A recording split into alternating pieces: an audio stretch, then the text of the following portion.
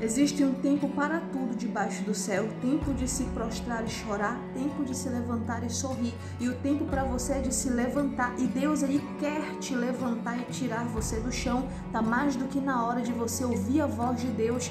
Se existem coisas que ainda te desanimam, te colocam para baixo, você precisa se levantar, porque existem coisas e pessoas que já morreram na tua vida, mas é você que faz questão de não enterrar, ciclos que foram encerrados pelo próprio Deus, mas é você que quer reviver aquele passado. E Deus não faz e não fala nada na vida de quem fica se reclamando, se queixando. Enterre de vez aquilo que te deixa para baixo. Esqueça aquilo que para Deus já não tem importância, aquilo que ele já disse não, que ele já passou para frente.